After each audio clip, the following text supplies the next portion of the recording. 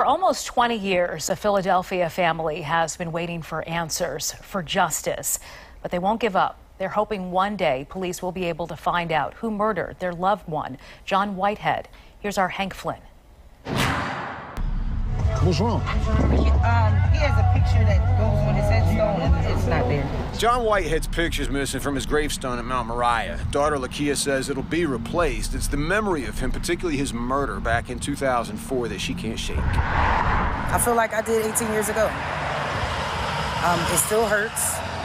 Um, and I feel like somebody should be held accountable. Whitehead was a star with partner G McFadden. And he wrote monster hits for the O'Jays and Harold Melvin on the Philly International label, all before he and McFadden dreamed up the smash Ain't No Stopping Us Now.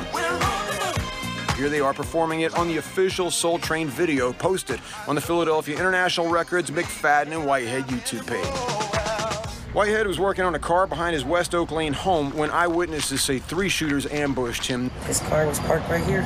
No one was ever charged. It's hard to carry that for years. It's not like I'm around feeling like, oh, we're going to find out who did this. It's 18 years later, and, you know, I, but I still have hope. I still have hope.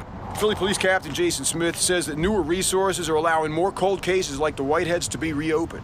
I want to impress upon everyone that we have not forgotten about John's victims, and we it's, it, it's our job, it's our mission to provide closure to these family members, next of kin of these homicide victims. He was the hook master, man. He... The family tells me that the grapevine tells them that John was not targeted. His killing was a mistake. I get emotional about sure. it. Anthony Williams was like a brother to John. He's heard other things too, mainly that the shooters are no longer here.